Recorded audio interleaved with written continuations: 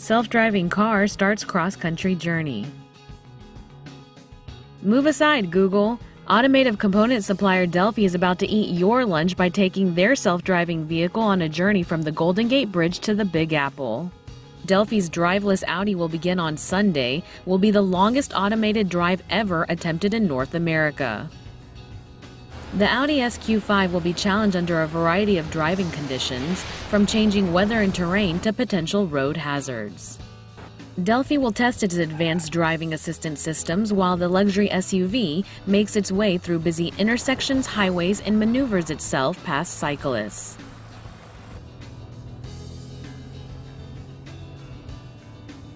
The navigation system, cameras, and sensors are all controlled by intelligent software that enables the vehicle to make complex human like decisions.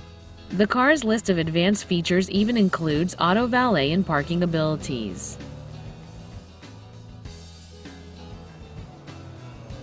If the journey proves successful, Delphi Automotive will no doubt become a major player in the self driving car market. See a story that really should be animated? Suggest stories to TomoNews now.